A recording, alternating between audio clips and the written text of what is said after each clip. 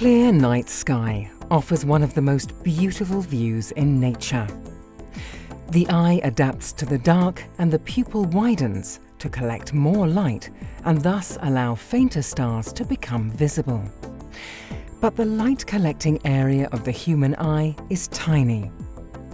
To peer much deeper into the night sky, astronomers need telescopes with enormous primary mirrors to do a much better job.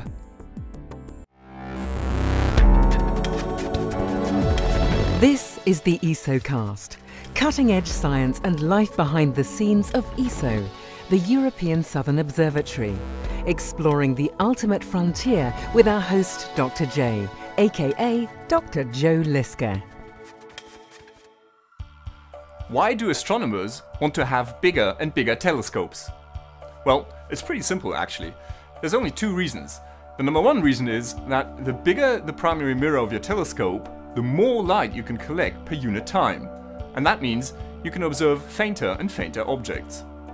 The number two reason is that the resolution of your telescope, that is, the sharpness of the images that you can make with your telescope, depends on the size of the primary mirror. The bigger your telescope, the sharper the images you can make. But what are the limits? How big can you make a telescope? And what are the challenges encountered by telescope builders in making bigger and bigger mirrors?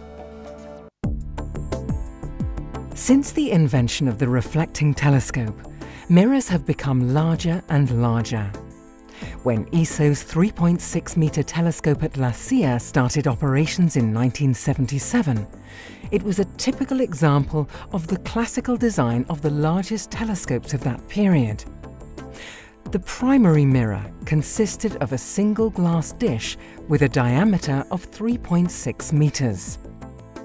In order to make such a big mirror stiff and solid, it has to be relatively thick, which makes it very heavy. The 3.6 metre mirror is about half a metre thick and weighs some 11 tonnes. To allow this very weighty mirror to be pointed precisely, a massive yet precisely balanced telescope structure has to be built around it. Telescopes with even larger, thicker and hence heavier mirrors have been constructed, but eventually it became obvious that the limit of the classical design had been reached. Did telescope engineers have to give up at this point and stop dreaming of even bigger telescopes? Well, of course not. But paving the way to larger and lighter mirrors required some innovative thinking. The result was ESO's New Technology Telescope, or NTT for short. The NTT was a truly revolutionary telescope at the time it was built, because it featured a system called active optics. Now before the invention of active optics, telescope mirrors had to be thick and therefore heavy in order to be stiff. But with active optics, telescope mirrors could be allowed to be flexible and therefore relatively light and thin. The thin mirror of the NTT is even more likely to bend due to gravity. With active optics, the flexible mirror is placed on a complex support system with computer-controlled actuators that adjust the shape of the mirror and compensate for the bending of the mirror during observations. This way, the best possible image quality is preserved at all times. The NTT was a tremendous success. Although its main mirror is 3.6 metres in diameter, it is only 24 centimetres thick. The new mirror design made it possible to break the 6 metre barrier of classical telescopes and strive for larger mirrors in the 8 metre class.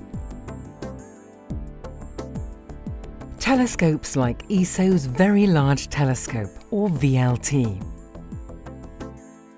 the VLT consists of four unit telescopes with primary mirrors of 8.2 metres diameter. Each mirror blank is only 17.5 centimetres thick and weighs only some 23 tonnes. Naturally, active optics plays a vital role here. The shape of the mirror is actively controlled by means of 150 axial force actuators. Based on the latest available technology, the VLT delivers images of outstanding optical quality. But a solid, single-piece 8-meter mirror is pretty much at the limit of what can be handled, transported and maintained. To be able to construct telescopes with even larger light collecting areas, you really have no choice but to split up the primary mirror into individual pieces, called segments. It was the concept of a segmented primary mirror that allowed astronomers and engineers to conceive of truly gigantic telescopes. Telescopes such as the future European Extremely Large Telescope, which is currently in its early stages of construction.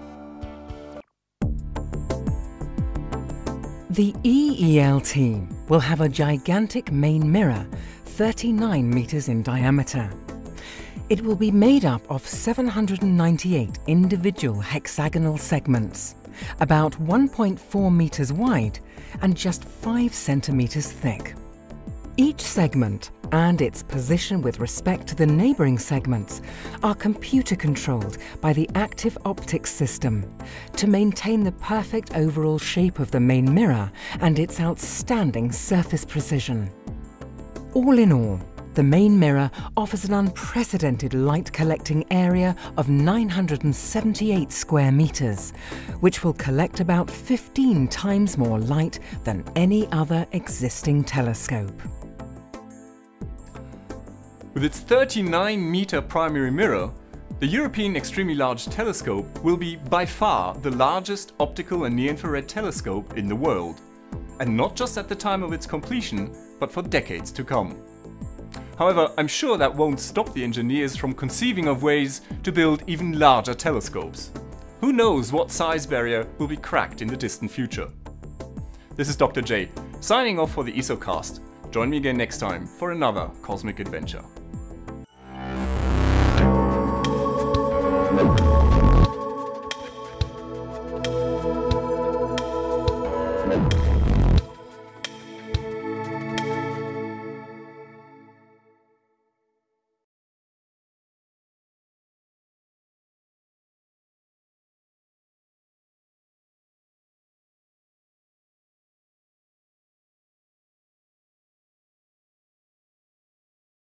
I guess you're about the only person around that doesn't have TV coverage of the scene. That's all right, I don't mind a bit. They've got the flag up now, and you can see the stars and stripes on the Flag up now, you can see the stars. Are you getting a TV picture now, Houston? Neil, yes, we are getting a TV picture. You're in our field of view now. That's one small step for man, one giant leap